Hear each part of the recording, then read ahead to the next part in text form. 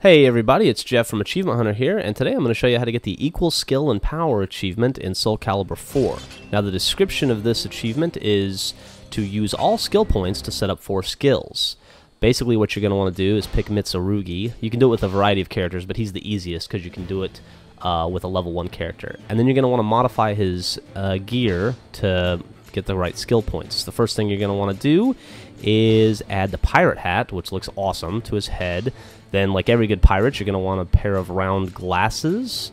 Uh, pirates don't like anything on their necks, so you leave that alone. Go down to his shoulders, and you're going to want to get the Executioner Spaulders right there. Uh, follow that up with the always sexy loincloth, which I'm actually wearing right now. Uh, then moving on to the upper body, we're going to get Caretaker's Breastplate. Let me see if I can find that here in a second. Dun dun dun. So uh, there's a lot to. Uh, uh. What does a caretaker need a breastplate for anyway?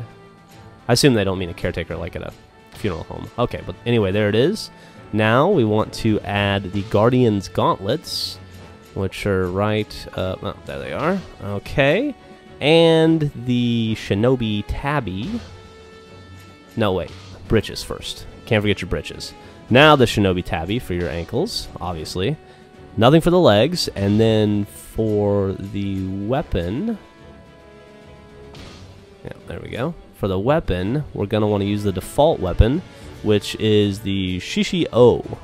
Uh, I don't know if I'm spelling that right or not. Okay, so there you have it. Uh, make sure you have that guy enabled, and this should get you the achievement as soon as I hit select. And oh, you know what? I'm an idiot. That's embarrassing. I forgot to add the skills. Uh, please don't tell anybody about that. We'll pretend this never happened. Uh, let's go back in and actually manipulate the, the uh, skills on our gay pirate Mitsurugi. Okay, now first skill we're going to want here is Shave Damage C. And if we do this right, we're going to have just enough skill points to get our skills. Uh, oh, wait, got ahead of myself there. Now we need to go and get Nullify Counter C. We're going to follow that up with Hysterical Strength, which uh, I don't know what that means.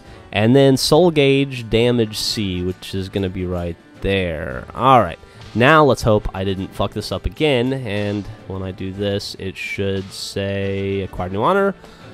Whew! Ah, this was harder than it looked. Okay, uh, there we go. Achievement unlocked. 20 gamer score for equal skill and power. Uh, so there you have it. Keep checking in on uh, achievementhunter.com for more updates. I love you.